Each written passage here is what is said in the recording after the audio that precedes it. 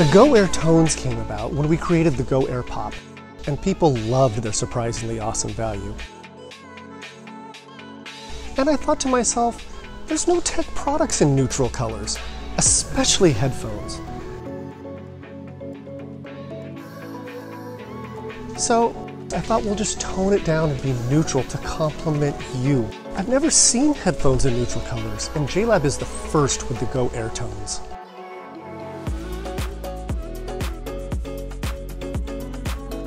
So we teamed up with Orly Color Labs and we created these seven neutral tones. And I thought to myself, I'll just go to the people directly at JLab. So I called their product team and I said, we want to make some neutral color headphones.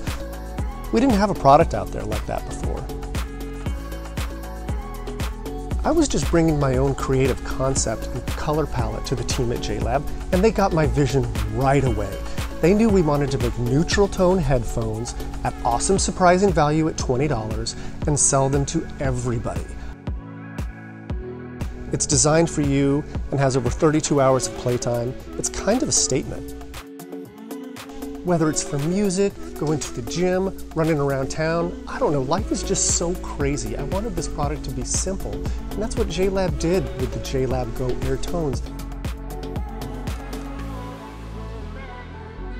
Your tunes, your tone. That's JLab.